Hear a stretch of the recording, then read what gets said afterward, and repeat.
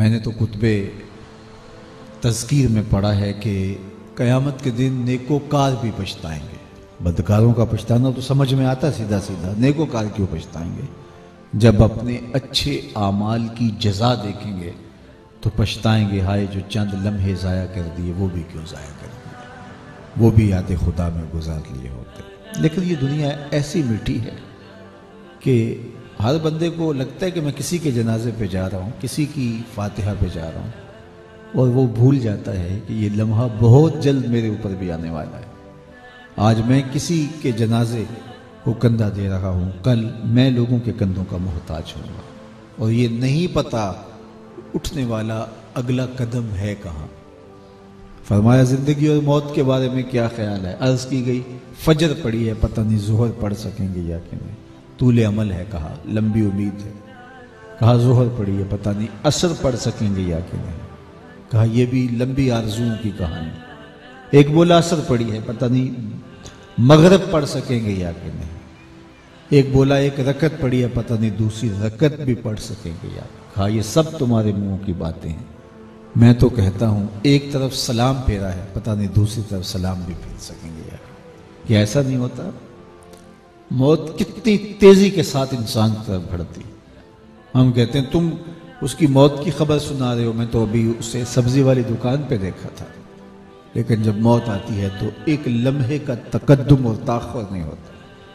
सारे काम वहाँ धरे के धरे रह जाते हैं और मौत वजूद से रू छीन लेती है।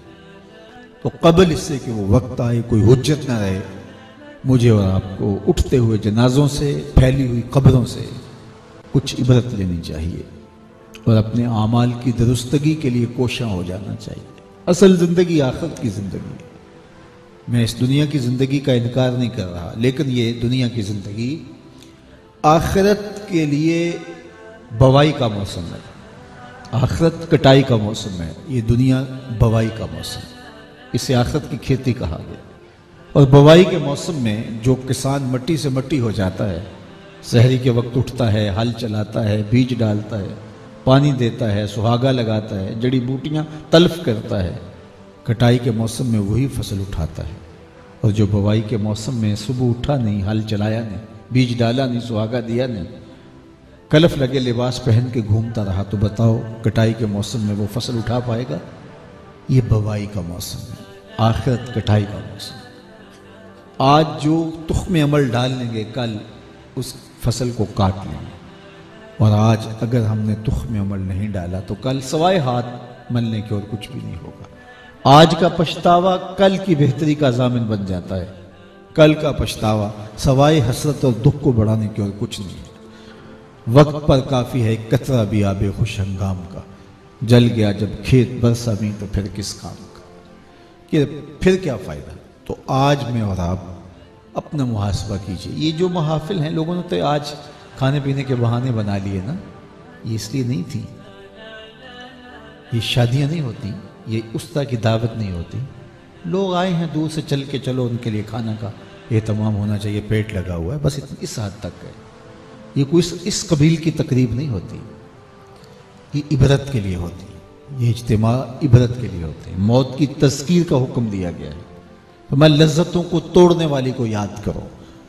अर्ज़ की, वो कौन सी चीज़ है जो लज्जतों को तोड़ती है? फरमाया, अलमौत, मौत। तो ये मौाक़े हमारे लिए इबरत के मौाक़े थे। हम सोचते बैठ के तफक्र करते। इनफरादी तौर पे भी इज्तमाही तौर पे भी ऐसा माहौल पैदा किया जाता कि हम देखते कि हमने भी इस दुनिया से चले जाना ये लाजमी नहीं कि कोई बूढ़ा होकर ही जाएगा। अगर आप किसी ऐसी जगह पे है जहाँ कोई बुढ़ापे में इंतकाल कर गया है तो ये लाजमी नहीं, कभी आपको ऐसी जगह पर भी जाना पड़ता है जो जवानी में इंतकाल करता है। कभी बच्चे के जनाजे में भी जाना पड़ता है। इमाम गजाली ने कहा मुआरे में नज़र दौड़ा के देखो, आपको बूढ़े कम नज़र आएँगे, जवान ज़्यादा नज़र आएँगे। तो कहा, इसका मतलब ये हुआ कि लोग बूढ़े कम होते हैं, ज़्यादा जवानी में चले जाते हैं। कहा, फिर नज़र दौड़ा के देखो, तुम्हें बच्चे ज़्यादा नज़र आएँगे, जवान कम नज़र आएँगे। तो कहा, इसका मतलब ये है कि जवानी की दहलीज तक भी सारे नहीं पहुँचते, ज़्यादा बचपन में चले जाते हैं। लेकिन हम समझते हैं कि हम अस्सी साल के होकर जाएँगे। सामान सौ बरस का पल की खबर नहीं। तो मुझे और आपको अपना मुहासबा करना होगा। ये मौके इबरत के होते हैं। अपनी उखरवी ज़िंदगी के लिए हमें कोशिश करनी होगी। तो मैंने कहा, मैं ये नहीं कह रहा कि इस दुनिया की ज़िंदगी को हम नज़रअंदाज करते हैं। इस पर आखिरत मरतब होगी। और हमारा दीन हमें यह नहीं कहता कि इस तरह दुनिया कर दो। इस्लाम तरक दुनिया का सबक नहीं देता, लेकिन घर के दुनिया से भी बचने की तलकीन कर तुम्हारा ओढ़ना बिछोना ही दुनिया हो जाए। तुम दौलत को अपना मबूद और अपना खुदा मान ले, बैठो। तुम्हारा ये तासर हो कि इज़्ज़त मिलती है तो दौलत से, सुकून मिलता है तो दौलत से मुआरे में विकार और मुकाम मिलता है तो दौलत से, लिहाजा दौलत इकट्ठी कर लो दोनों हाथों से। ये कोई मैार नहीं, ये खुद साख्ता मैार है। इज़्ज़त भी मेरा अल्लाह देता है।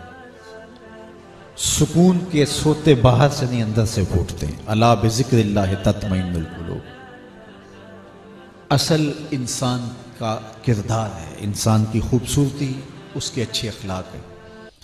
और कब्र में बाकी सब कुछ यहाँ रह जाना है। फरमाया कि एक शख्स के तीन दोस्त थे तो जब वो मरने लगा तो उसने कहा कि मेरा साथ दो। तो एक दोस्त ने माजत कर ली कि मैं तुम्हारा साथ नहीं दे सकता।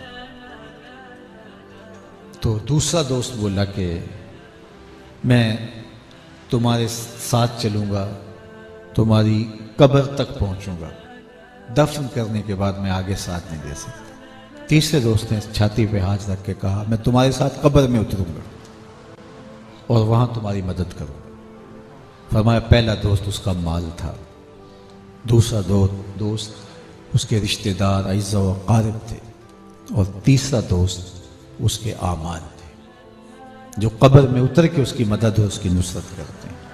तो हकीकी दोस्त तो वही हुआ जो हमारा कब्र का साथी है, आखरत का साथी है। तो असल ज़िंदगी आखरत की ज़िंदगी और जिसने आखरत की ज़िंदगी को खूबसूरत बना लिया ये ज़िंदगी की खूबसूरती, आखरत की खूबसूरती की ज़मानत बन जाती है। इसकी नफ़ी नहीं है। मैं फिर बार बार कह रहा हूँ कि नफ़ी नहीं है। हजूर इस्लाम तशीफ़ लाए तो एक सहाबी को देखा कि वो सख्त कमज़ोर है। उसकी कमज़ोरी को बयान करने के लिए जो हदीस में लफ्ज़ हैं, वो ये कि चूज़े की तरह कमज़ोर उसकी कमज़ोरी को बयान करने के लिए इश्तारतन ये लफ्ज़ इस्तेमाल किए गए कि चूज़े की तरह कमज़ोर था। तो फरमाया कि